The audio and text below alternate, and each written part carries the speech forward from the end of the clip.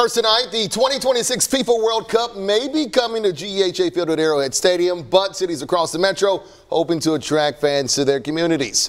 That's because the World Cup matches in Kansas City are expected to generate, wait for it, $652 million in economic impact. That's according to the Kansas City Sports Commission. As the soccer capital of America, Kansas City will host four group stage matches, one round of 32 match, and one quarterfinal match.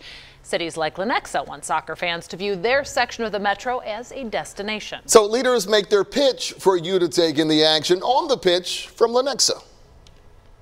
I'm Caroline Hogan in Lenexa, an area that's grown exponentially in the past few years. And as you can see by the construction, it just continues to get bigger and bigger. We talked to some business owners who are looking to pitch Lenexa and use the World Cup as a launching pad.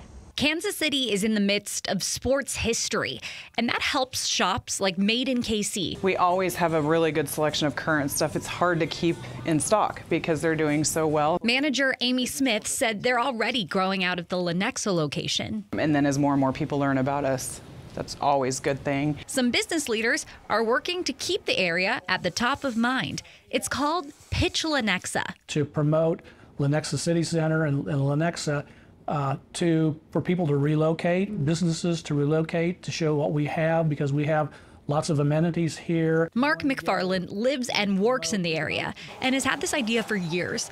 The 2026 World Cup comes just in time to act as a starting point, hosting events and watch parties. Get to come and experience what living in the Midwest of the United States of America is like, and specifically in Kansas City. Mark said it's about more than economic benefits and wants Pitch Lenexa to be a legacy group and roadmap for other neighborhoods. The number doesn't is not important to us so much, is that people get to come and, and see what we have here and have a good time. As a Lenexa native, that's what Amy wants to see too. I mean, I hope people understand that Lenexa is a great place to be.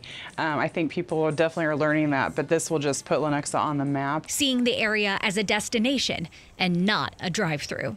In Lenexa, Caroline Hogan, KSHB 41 News.